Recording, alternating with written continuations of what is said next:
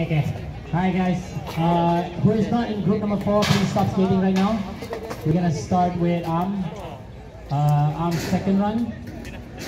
So, who is not in group number four?